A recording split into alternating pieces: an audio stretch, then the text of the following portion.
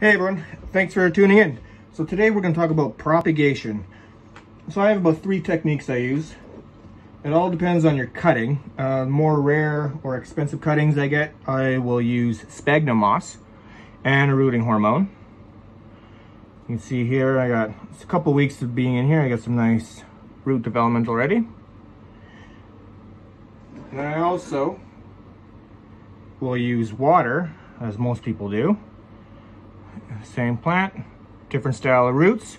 So when you're doing them in water, the, the roots developed in water are very acclimated to water. So the transition to soil may not take every time just because the roots are developed for water and then like constant moisture.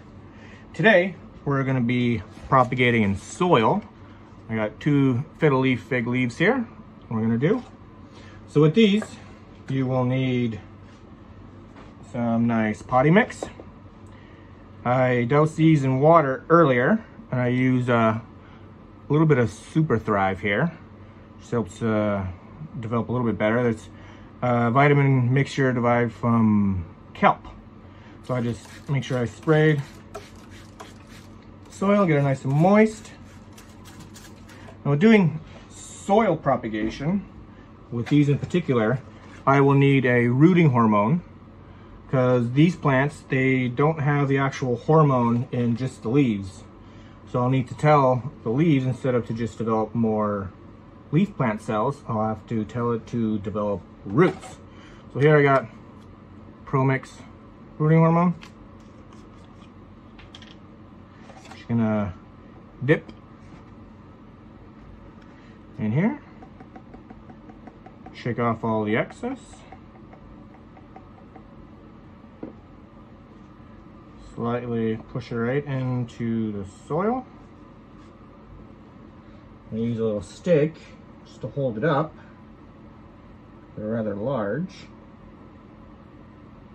There we go. So the rooting hormone that we need is actually called auxin. And this is perfect for it. There we go. To the center of the soil. Remember, I didn't pack the soil down at all. It's just all water in there. Use my spade. Hold it down. There we go. We got two fiddle leaf figs. So these are going to sit on my propagation station. I have light from a uh, south facing window and an east facing window. We get relatively good light. I'm going to monitor the soil moisture because it's got to stay moist the whole time for roots to develop.